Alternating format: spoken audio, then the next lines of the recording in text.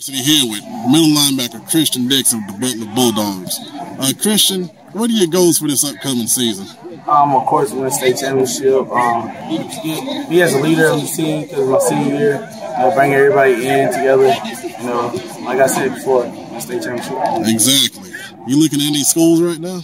Um, I actually have six D1 offer.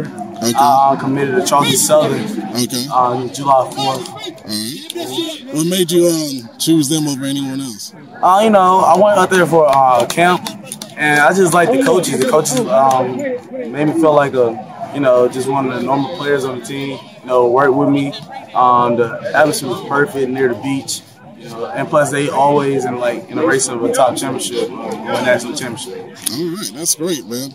So, being a leader on this team, what's it going to take for you guys to win a state championship this year? Uh, you know, we're we're a very experienced team, uh, so not really much. You know, just play hard, come come hard every game. Don't sleep on nobody. You know, just just come out here and play. All right, excellent. So, uh, what's your favorite memory from, from high school football so far? Gosh, um, I would say um, beating Mallard Creek my sophomore year, first round. Okay. Or beating Independence and at Memorial Stadium my freshman year. Okay, excellent, excellent. Uh, last question, man.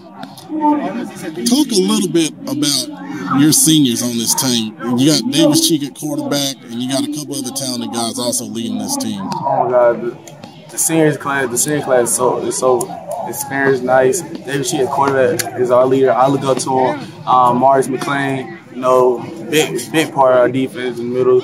Um, Jalen, outside linebacker. Um, Anthony McGill. You know, we can go, keep on going, keep on going. We're just so experienced. I just love it. It's, it's beautiful. It's a beautiful sight. Just watch this year. That's great, man. You've done really big things in your career so far. We're looking forward to seeing more. Thank you. Thank you.